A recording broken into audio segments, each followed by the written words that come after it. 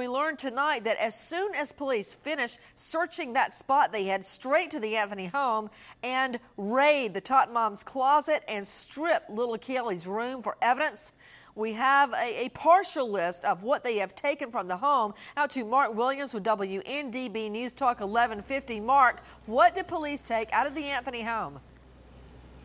Well, what they, Nancy, what they took out of the Anthony home was clothing and shoes belonging to both Caylee and Casey. They even took some of Caylee's little toys. They literally stripped Caylee's room here at the Anthony house that's uh, right in back of us right now. Uh, it's all in the custody of Sheriff's Office investigators at their office, and they're going over it. Because, see, the theory is that they found something at that crime scene that uh, they needed to come back here real quick because now they can connect some of the dots because they don't have any toxicology reports back yet, Nancy.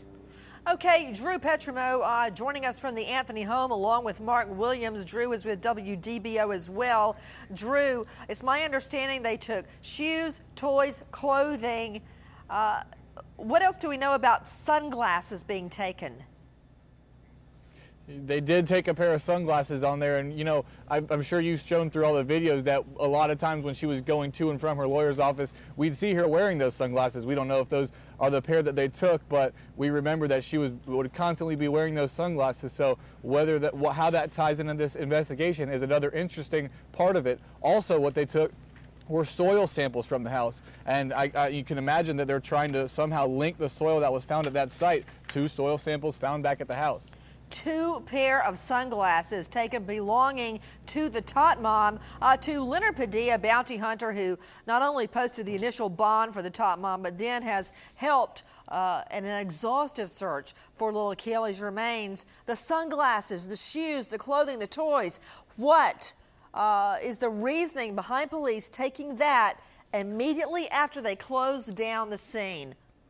Well, it, it has to do with were there duplicates or were the only little toys that the little girl had in the car buried with her or put in the bag with her at the time? And they wanted to make sure that there was no duplications back in her room of glasses, clothing, or toys.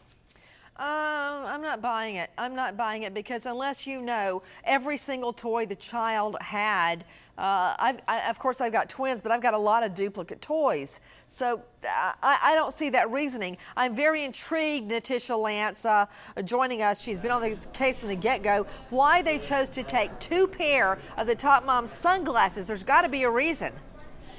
There has to be a reason, Nancy. However, we're not sure what that reason is at this point. What I might say is that possibly they may have been glasses that she was wearing when she may have disposed of the body, and they might be looking for any type of evidence that may be connected to these glasses that were taken from the scene where the remains were found.